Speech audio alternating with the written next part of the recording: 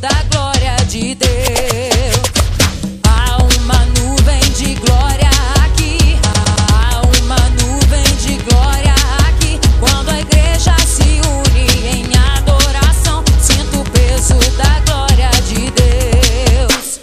E ela vem dos altos céus, bailando sobre